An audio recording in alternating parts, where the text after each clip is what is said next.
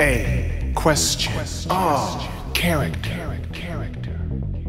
The Kickmaster Thonolan is the master of kicks. It is his only method of physical attack. Thonolan has been specifically trained in toe weaponry. It is a form of tofu or taekwondo. Face the foot. He has learned this method of combat while being raised as a child within the peaceful land of Lorel. That is, until the evil witch Belzed destroyed it and kidnapped its lovely princess Silphee. Kickmaster will have vengeance for the murdered king and queen of Lorel, but also his brother who just got murdered. With his last silver breath, his brother Macren's dying wish is for Thonolan to use his great kicking skills to thwart the evil army of Belzed. The people of Lorel really believe in Thonolan's feet, and with kicks that can destroy solid bone,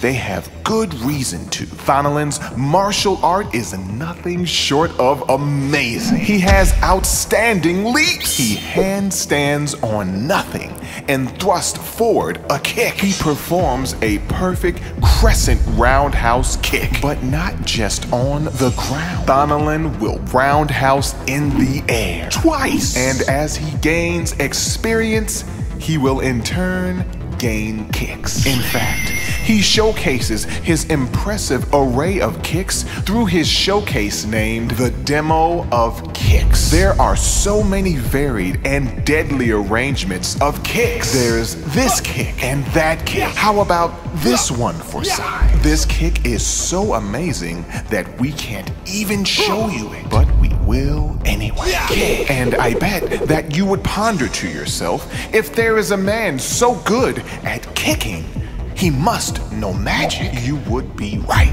Thonolan is a kick magician. He has magic ball power, thunder magic, earthquaking shakes, and the gift of flight. The Wicked Witch of Lorel has no chance against magic and feet. Thonolan will destroy her fearsome monsters. The woman of wolf, the harpy, the octopus of the sea. As well, he will face a man who has similar kicks, but his kicks are no match for Thonolan's kicks. Thonolan lets his long hair flow similar to his loose-fitting blue cotton cloaked uniform and sharp-tipped boots for precision kicks. It also allows for fluid movement for Thonolan's awesome array of martial arts mastery. Let the kicks flow, whether forest, ship, or tower.